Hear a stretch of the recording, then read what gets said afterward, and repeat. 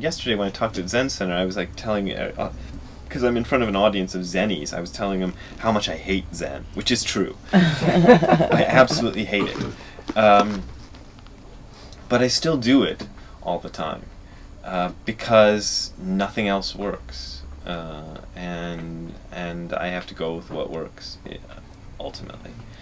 Um, and this and this works. It doesn't get you. Um, it doesn't get you to the kind of place that sort of people will push as being the ultimate, you know, thing. You know, this sort of beautiful bliss state.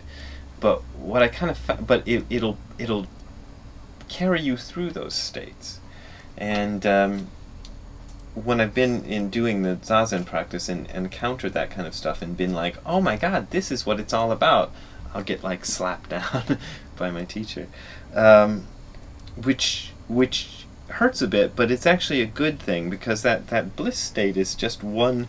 It it's a um, it's when you turn off everything else that's going on and focus on bliss. You're going, oh wow, bliss.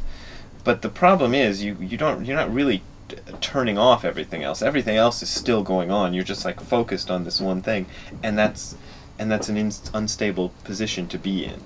Uh, and eventually, it's going to fall apart.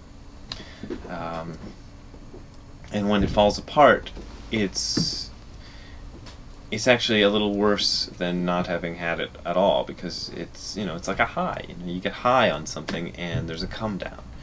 Um, and our practice is to not get high on anything um, and in so doing find that everything that, that we encounter has a kind of depth and beauty to it that we usually miss